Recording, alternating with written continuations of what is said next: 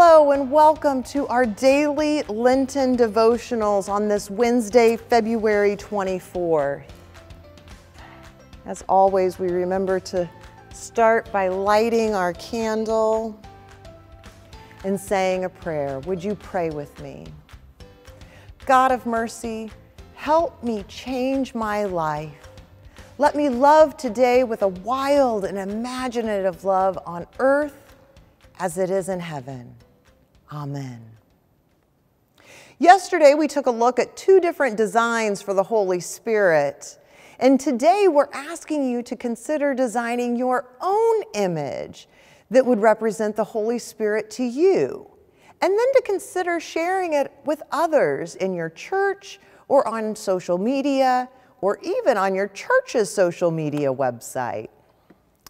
I attempted this practice this week, and as with all things, there are Pinterest fails and Pinterest successes, and this is somewhere in between.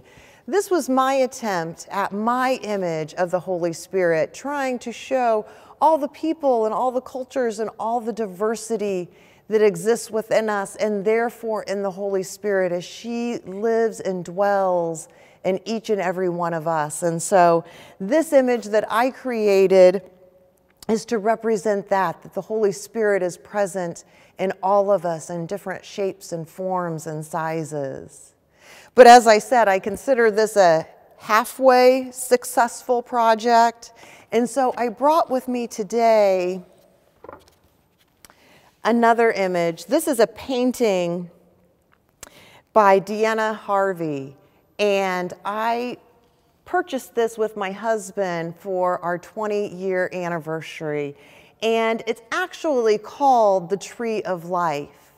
But this reminds me of the Holy Spirit and it captures what I was trying to do in my own art project, which reflects the diversity of the church. The Holy Spirit spilling out into all of these areas, but coming from one central place.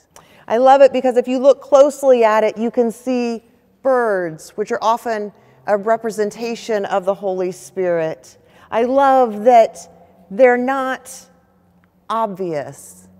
The Holy Spirit's work in our life is not always obvious. And finally, I love the swirl and the movement that I see in this picture and in this painting because the Holy Spirit is always moving and moving in our lives. And it's appropriate that this is the tree of life, that God breathed life into us. The Holy Spirit is the breath of God. And here we have that going out into the world. And so this is not my own creation, but something that I would like to share with you is my vision of the Holy Spirit.